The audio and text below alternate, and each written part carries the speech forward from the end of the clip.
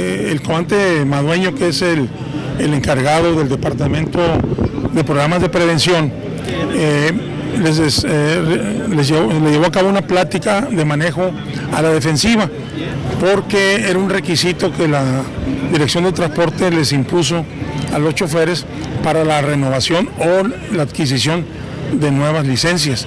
Entonces, vamos a estar muy atentos cada vez que se requiera, ya sea solicitado por la Dirección de, Autotransporte o por los mismos concesionarios, estamos a la mejor disposición de, apoyarlos con mucho gusto. Yo calculo que cuando menos unos 40, 50 este, elementos sí estuvieron ahí.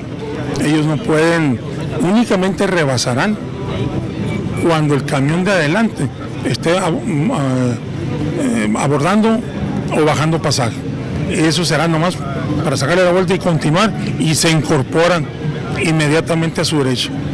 Pero agarrar el carril central para rebasar, eso no se puede. Inmediatamente se le aplica, se le aplica una sanción. Y este el mes pasado creo que hubo unas 157 infracciones El mes pasado. el mes pasado, Noviembre. en noviembre, en 30 días.